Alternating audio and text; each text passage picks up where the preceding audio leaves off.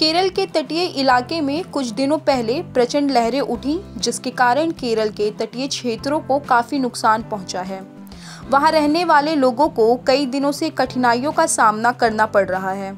इन ऊँची लहरों के कारण केरल के समुद्रीय तटों पे बसे घरों में पानी घुस गया, जिसके कारण कई मकान भी गिर गए। यह लहरें केरल के कोस्टल इलाके तिरुवंतमपुरम कोल्लम, अल्लापुझा और त्रिशूर में काफ़ी मुश्किलें पैदा कर रही हैं। दरअसल केरल के इन तटीय क्षेत्रों में जो लहरें उठी थीं, उन्हें स्वेल वेव कहा जाता है। आज के इस वीडियो में हम इसी स्वेल वेव के बारे में विस्तार से जानेंगे कि यह क्या होती है यह किन कारणों से आती है।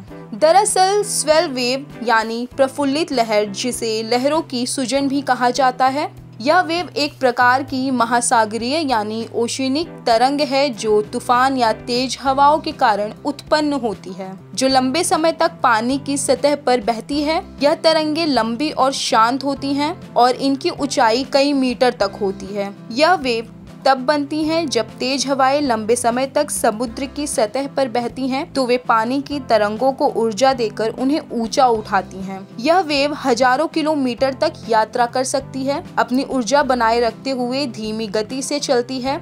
जब स्वेल वेव उथले पानी में पहुँचती है तो वे धीमी हो जाती है और ऊँची हो जाती है। स्वेल वेव बनने के कई कारण भी हैं, जिसमें तूफ़ान, भूकंप ज्वालामुखी विस्फोट और क्षुद्र ग्रह प्रभाव यानी एस्टेरॉइड इम्पैक्ट शामिल हैं। इनकी विशेषताओं की बात करें तो स्वेल वेव की ऊंचाई पानी की सतह से ऊपर और नीचे की दूरी को मापती है। समुद्र में बनती लहरें तूफ़ान या हवाओं की तीव्रता पर निर्भर करती है। यह लहरें दो शिखरों के बीच की दूरी को माप सकती है, जो काफ़ी बड़ी होती हैं। यह सैकड़ों मीटर तक फैली है।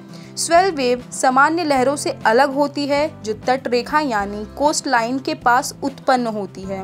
इनमें आम वेव्स की तुलना में अधिक ऊर्जा और शक्ति होती है। स्वेल वेव के कई प्रभाव भी हैं, जैसे कि स्वेल वेव तट पर ऊँची लहरें पैदा कर सकती है जो तट के किनारे के लिए खतरा पैदा कर सकती है, या मज़बूत धाराएँ भी पैदा कर सकती है जो तैराकों के लिए खतरनाक साबित हो सकती है। इसके साथ ही ये समुद्री जीवन को प्रभावित कर सकती है, जिसकी वजह से समुद्र में मछलियों की संख्या भी कम हो जाती है। यह वेव कभी कभी काफ़ी खतरनाक भी हो सकती है। आज के इस वीडियो में बस इतना ही। आप और कितनी तरह की वेब्स के बारे में जानते हैं तो हमें कमेंट बॉक्स में ज़रूर बताएँ। तब तक के लिए मुझे दीजिए इजाज़त। नमस्कार।